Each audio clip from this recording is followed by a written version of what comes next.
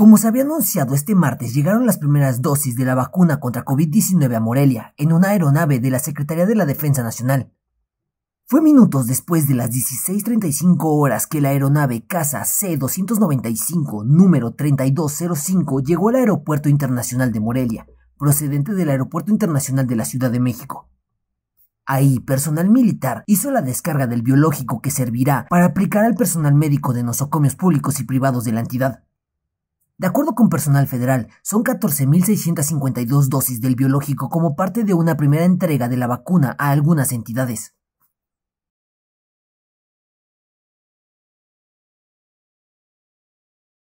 Con información de Uriel Morales Pérez, Agencia Cuadratín.